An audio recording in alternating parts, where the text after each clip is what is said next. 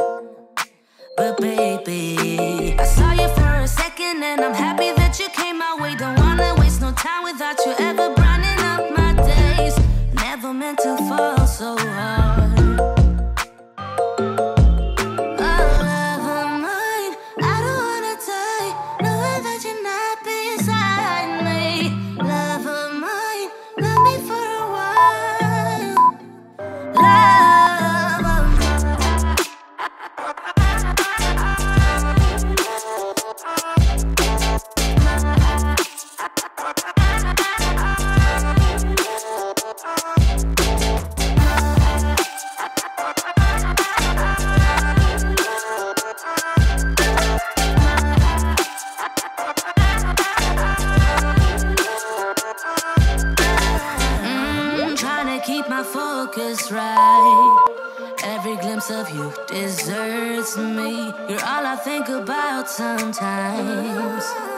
But baby, I saw you for a second and I'm happy that you came my way. Don't wanna waste no time without you ever brightening up my days. Never meant to fall so hard.